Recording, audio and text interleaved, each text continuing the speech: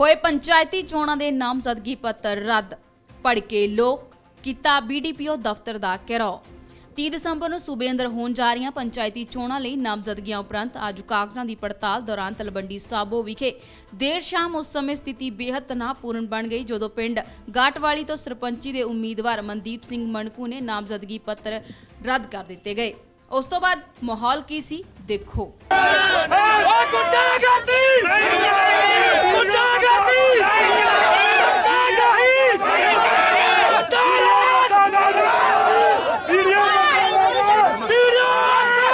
Video speed ਦਾ ਕਹਿਣਾ ਹੈ ਕਿ ਇਹਨਾਂ ਨੂੰ ਨਹੀਂ ਦੱਸਿਆ ਗਿਆ ਕਿ ਕਾਗਜ਼ ਰੱਦ ਕਿਉਂ ਕੀਤੇ ਗਏ ਹਨ। ਅੱਜ ਦੇਰ ਸ਼ਾਮ ਕਾਗਜ਼ਾਂ ਦੀ ਪੜਤਾਲ ਤੋਂ ਬਾਅਦ ਜਿਉਂ ਬੀਡੀਪੀਓ ਤਲਵੰਡੀ ਸਾਬੋ ਦੇ ਦਫ਼ਤਰ ਦੇ ਬਾਹਰ ਖੜੇ ਉਕਤ ਉਮੀਦਵਾਰ ਦੇ ਸਮਰਥਕਾਂ ਨੂੰ ਪਤਾ ਲੱਗਾ ਕਿ ਉਹਨਾਂ ਦੇ ਕਾਗਜ਼ ਰੱਦ ਕੀਤੇ ਜਾ ਰਹੇ ਹਨ।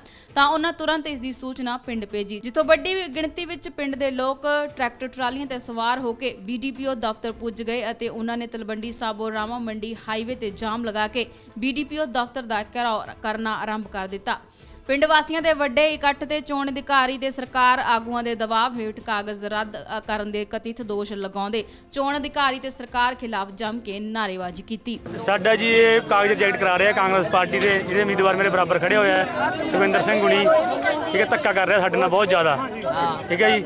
ਤੇ ਸਾਡੇ 'ਚ ਕੋਈ ਕਸੂਰ ਨਹੀਂ ਸਾਡਾ ਸਾਰਾ ਕੁਝ ਸਹੀ ਹੈ ਜੀ। ਜੇ ਜੇ ਸਾਡੇ 'ਚ ਕੋਈ ਕਮੀ ਹੈਗੀ ਆ ਕੋਈ ਸਾਡੇ ਪੇਪਰਾਂ 'ਚ ਕਮੀ ਹੈਗੀ ਆ ਹਾਂ। ਸਾਨੂੰ ਦੱਸਣ ਵੀ ਆ ਕਮੀ ਆ ਤੁਹਾਡੇ 'ਚ ਅਸੀਂ ਦੂਰ ਕਰਾਂਗੇ। ਨੂੰ ਕਲੀਅਰ ਕਰਨ। ਅਸੀਂ ਕਮੀ ਦੂਰ ਕਰਾਂਗੇ। ਜੀ ਉਹ ਬਿਨਾ ਬਿਨਾ ਸਾਨੂੰ ਦੱਸੇ ਪੁੱਛੇ ਬਿਨਾ ਕਿਸੇ ਦੇ ਇਤਰਾਜ਼ ਉਹੀ ਕਿਸੇ ਨੇ ਐਪਲੀਕੇਸ਼ਨ ਦੇ ਦਿੱਤੀ ਤੇ ਉਹ- ਬਿਨਾਂ ਗੱਲ ਤੋਂ। ਉਹਦੇ ਕਹੇ ਤੇ ਸਾਡੇ ਕਾਗਜ਼ ਰਿਜੈਕਟ ਹੋਣ ਉਹ ਉਹ ਸਾਨੂੰ ਮਨਜ਼ੂਰ ਨਹੀਂ। ਹਾਂਜੀ ਕੀ ਨਾਂ ਹੈ ਤੁਹਾਡਾ? ਮੇਰਾ ਨਾਮ ਜੀ ਗੁਰਜੀਵਨ ਸਿੰਘ ਆ ਮੈਂ ਸਾਬਕਾ ਸਰਪੰਚ ਪਿੰਡ ਗਾਟਵਾਲੀ ਜੀ। ਹਾਂ, ਕੀ ਮਾਮਲਾ ਕੀ ਹੈ ਤੁਸੀਂ ਧਰਨਾ? ਮਾਮਲਾ ਕੀ ਹੈ ਜੀ ਅਸੀਂ ਆਪ- ਆਪਣਾ ਮਨਦੀਪ ਸਿੰਘ ਨੇ ਸਰਪੰਚੀ ਦੇ ਕਾਗਜ਼ ਭਰੇ ਜੀ। ਗਾਟਵਾਲੀ ਤੋਂ। ਚਾਰ ਕੈਂਡੀਡੇਟ ਭਰੇ? ਜੀ? ਬੇਅੰਤ ਕੌਰ ਮੇਰੀ ਮੈਸੇਜ ਇਹਨਾਂ ਦੇ ਕਾਗਜ਼- ਅੰਦਰ ਕੌਰ। ਇੱਕ ਮਿੰਟ ਪਹਿਲਾਂ ਇਹਦੀ ਗੱਲ ਕਰਦੇ ਇਹਨਾਂ ਦੇ ਕਾਗਜ਼ ਭਰੇ ਆ ਜੀ। ਤੇ ਪ- ਜਿਹੜਾ ਪ੍ਰਸ਼ਾਸਨ ਆ ਵੀ ਸਰਕਾਰ ਦੇ ਦਬਾਅ 'ਚ ਆ ਕੇ ਇਹਨਾਂ ਦੇ ਕਾਗਜ਼ ਬਿਨਾਂ ਮਤਲਬ ਤੋਂ, ਬਿਨਾਂ ਕਿਸੇ ਗੱਲ ਤੋਂ ਉਹਨਾਂ ਨੂੰ ਕਹਿੰਦਾ ਵੀ ਅਸੀਂ ਇਹਨਾਂ ਦੇ ਕਾਗਜ਼ ਰਹਿਣ ਹੀ ਨਹੀਂ ਦੇਣੇ। ਗੱਲ ਖਤਮ। ਮੰਗ ਇਹ ਕਰਦੇ ਆ ਵੀ ਸਾਡੇ ਕਾਗਜ਼ ਜੇ ਕੋਈ ਕਮੀ ਆਉਂਦੀ ਆ ਉਹਦੀ ਉਹਨੂੰ ਉਹਦੀ ਵੈਰੀਫਾਈ ਕਰਾਈ ਜਾਵੇ। ਜੇ ਕੋਈ ਕਮੀ ਆ ਸਾਡੇ 'ਚ ਫਿਰ ਰਿਜੈਕਟ ਕਰ ਸਕਦੇ ਜਮਾ ਸਾਨੂੰ ਕੋਈ ਇਤਰਾਜ਼ ਨਹੀਂ। ਅਗਲਾ ਅਗਲਾ ਸੰਵਰਸ਼ ਅਗਲਾ ਅਗਲਾ ਅਗਲਾ ਸੰਘਰਸ਼ ਅਸੀਂ ਇੱਥੇ ਮਰਨ ਵਰਤ ਤੇ ਬੈਠਾਂਗੇ ਮੇਰਾ ਨਾਮ ਕੁਲਵਿੰਦਰ ਕੌਰ ਹੈ ਜੀ ਘਾਟ ਵਾਲੀ ਹੈ ਜੀ। ਅਸੀਂ ਚਾਰ ਦਿਨਾਂ ਨੇ ਫਾਰਮ ਭਰੇ ਸੀਗੇ ਜੀ ਸਰਪੰਚੀ ਲਈ। ਸਾਡੇ ਸਾਰੇ ਫਾਰਮ ਰਿਜੈਕਟ ਕੀਤੇ ਗਏ ਆ। ਹੁਣ ਸਾਡੀ ਮੰਗ ਇਹੀ ਹੈ ਜੇ ਤਾਂ ਕੋਈ ਫ਼ਰਕ ਹੈ ਸਾਨੂੰ ਕੱਢ ਸਕਦੇ ਆ।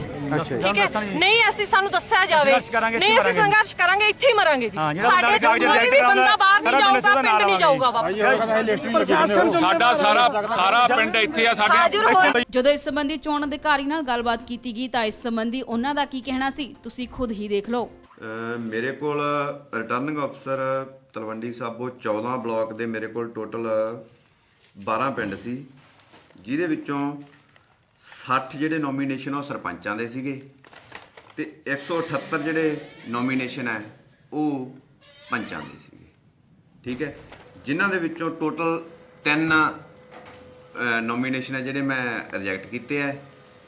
ਬਾਕੀ ਸਾਰੇ ਜਿਹੜੇ ਉਹ ਯੋਗ ਪਾਏ ਗਏ ਰਿਜੈਕਟ ਦੇ ਵਿੱਚ ਗਾਟ ਵਾਲੀ ਪਿੰਡ ਦੇ ਹੈ, ਦੋ ਪੰਚਾਂ ਦੇ ਹੈ, ਇੱਕ ਸਰਪੰਚ ਦਾ ਕੋਈ ਕਿਸੇ ਤਰ੍ਹਾਂ ਦੀ ਕੋਈ ਧੱਕੇ ਨਹੀਂ ਸ਼ਾਹੀ ਨਹੀਂ, ਕੋਈ ਕੁਛ ਨਹੀਂ। ਮੈਂ ਐਜ਼ ਪਰ ਲਾ ਐਜ਼ ਪਰ ਲਾ ਜਿਹੜਾ ਉਹ ਕੰਮ ਕੀਤਾ ਇਹਦੇ ਵਿੱਚ ਜਿਹੜੇ ਸੀਗੇ ਦੋ ਤਾਂ ਜਾ- ਅਨੁਸੂਚਿਤ ਜਾਤੀ ਚ ਜਿਹੜੇ ਪੰਚਾਂ ਦੇ ਸੀ, ਉਹਨਾਂ ਨੇ ਭਰੇ ਸੀਗੇ। ਉਹ ਜਾਤੀ ਦੇ ਸਰਟੀਫਿਕੇਟ ਹੀ ਹੈ ਨਹੀਂਗੇ ਨਾਲ ਉਹਨਾਂ ਦੇ। ਠੀਕ ਹੈ? ਨੰਬਰ 2 ਤੇ ਜਿਹੜੇ ਸਰਪੰਚ ਦਾ ਸੀਗਾ, ਉਹ ਸਰਕਾਰੀ ਮਹਿਕਮੇ ਨੌਕਰੀ ਕਰਦਾ ਤੇ ਉਹਨਾਂ ਨੇ ਮੈਨੂੰ ਪੀਆਰਟੀਸੀ ਜੀਐਮ ਤੋਂ ਮੈਂ ਰਿਪੋਰਟ ਮੰਗਾਈ ਹੈ। ਉਹ ਕਹਿੰਦਾ ਅਸੀਂ ਇਹਨੂੰ ਕੋਈ ਮਨਜ਼ੂਰੀ ਨਹੀਂ ਦਿੱਤੀ ਗਈ। As per state election rules, ਉਹਦਾ ਜਿਹੜਾ ਇਹ ਰਾਈਟ ਨਹੀਂ ਬਣਦਾ। ਅਸੀਂ ਜਿਹੜੇ ਉਮੀਦਵਾਰ ਦਾ ਕੋਈ ਇਤਰਾਜ਼ ਲੱਗਦਾ ਹੈ ਅਸੀਂ ਉਹ ਸੰਬੰਧਿਤ ਮਹਿਕਮੇ ਤੋਂ ਉਹਦੀ ਰਿਪੋਰਟ ਲੈ ਨਾਲ ਦੀ ਨਾਲ ਹੀ ਜਦੋਂ ਸਾਡੇ ਕੋਲੇ ਆਉਂਦਾ ਹੈ ਅੱਜ 11 ਤੋਂ 3 ਟਾਈਮ ਸੀ ਸਾਡੇ ਕੋਲੇ ਜਿਹੜੇ ਇਤਰਾਜ਼ ਆਏ ਅਸੀਂ ਉਹ ਸਾਰੇ ਇਤਰਾਜ਼ ਚੱਕ ਕੇ ਜਿਵੇਂ ਪੀਆਰਟੀਸੀ ਨੂੰ ਭੇਜੇ ਆ ਪੀਐਸਪੀਸੀਐਲ ਨੂੰ ਭੇਜੇ ਆ ਤਹਿਸੀਲ ਨਾਇਬ ਤਹਿਸੀਲਦਾਰ ਨੂੰ ਆਪਣੇ ਤਹਿਸੀਲਦਾਰ ਨੂੰ ਭੇਜਿਆ ਬੀਡੀਪੀ ਨੂੰ ਭੇਜਿਆ ਜੋ ਮੇਰੇ ਕੋਲੇ ਰਿਪੋਰਟਸ ਆਈਆਂ ਉਹ ਰਿਪੋਰਟਾਂ ਦੇ ਆਧਾਰ ਤੇ ਮੈਂ ਕਾਰਵਾਈ ਜੇ ਰਿਜ਼ਾਈਨ ਦਿੱਤਾ ਹੈ ਤਾਂ ਉਹ ਨਾਲ ਲਾਉਣਾ ਚਾਹੀਦਾ ਸੀ ਉਹਨੂੰ। ਉਹਨੇ ਵਿੱਚ ਕਿਉਂ ਭਰਿਆ? ਉਹਨੇ ਵਿੱਚ ਲਿਖਿਆ ਵੀ ਮੈਂ ਨੋਮੀਨੇਸ਼ਨ ਦੇ ਵਿੱਚ ਭਰਿਆ ਵੀ ਮੈਂ ਜਿਹੜਾ ਹੈਗਾ ਪੀਆਰਟੀਸੀ ਦੇ ਵਿੱਚ ਕੰਮ ਕਰਦਾ। ਗਾਟ ਵਾਲੀ ਦੇ ਤਿੰਨ ਹੀ ਹੋਏ ਆ। ਚੱਕਦੇ ਟੀਵੀ ਨਾਲ ਜੁੜੇ ਰਹਿਣ ਲਈ ਸਾਡਾ ਚੈਨਲ ਸਬਸਕ੍ਰਾਈਬ ਕਰੋ। ਵੀਡੀਓ ਸਭ ਤੋਂ ਪਹਿਲਾਂ ਦੇਖਣ ਲਈ ਬੈਲ ਆਈਕਨ ਤੇ ਕਲਿੱਕ ਕਰਨਾ ਨਾ ਭੁੱਲਿਓ।